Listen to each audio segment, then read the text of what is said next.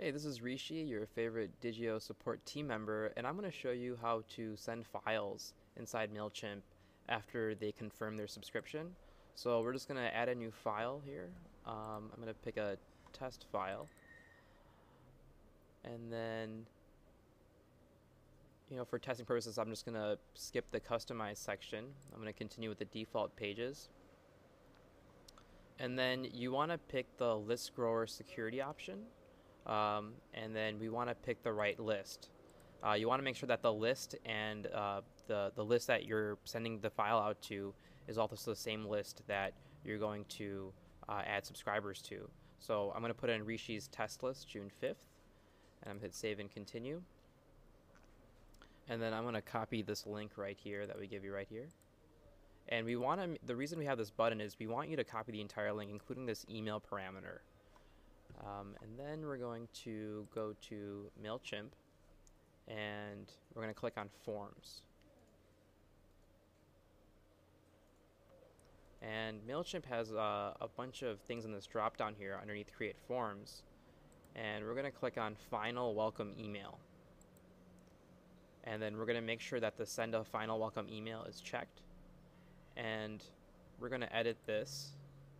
So this we're actually editing the email that gets sent the final welcome email. I'm going to click on edit and we're going to just, you know, I pretty much typed in some text beforehand. Thanks for joining our newsletter. Click here to download the file you requested. And what you want to do is, you know, you can either put the full link in, but what I like to do is uh, add it in as HTML. So, you know, just hyperlink, click here to download the file you requested. I'm just going to hover over all of it, click the link button, and paste in the Digioh link, your Digioh download link. And again, make sure this email parameter is in there and click insert. We're going to hit save now. And we get a confirmation that the list form has successfully saved. Um, and now uh, we're just going to hit save and exit here. Oh, actually, let's go back into our forms.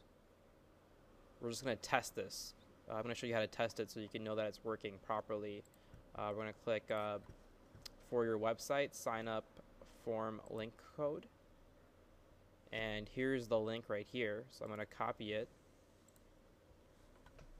Oops. The wrong thing. Uh, copy. And I'm going to paste it in a new tab or another window. And so I'll go to my subscribe form.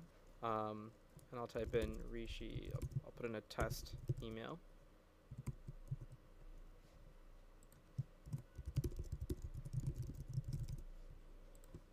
Hit subscribe to list. And then I need to confirm my email address. So here it is. I'm to say yes, subscribe me to your list. Okay. Confirmed. And now subscription is confirmed. Click here to download the file you requested. So I'm to click on this link. And here you go. Here's the download page. Now all I need to do now is click this download button. I can also view it online and that's how it will look to your to your users. Uh, now, if I forward this file on, um, they'll see a registration page where it prompts them to enter a name and email. Um, so that's how you do it. Uh, I uh, hope you enjoyed. Let me know if you have any questions. Thanks.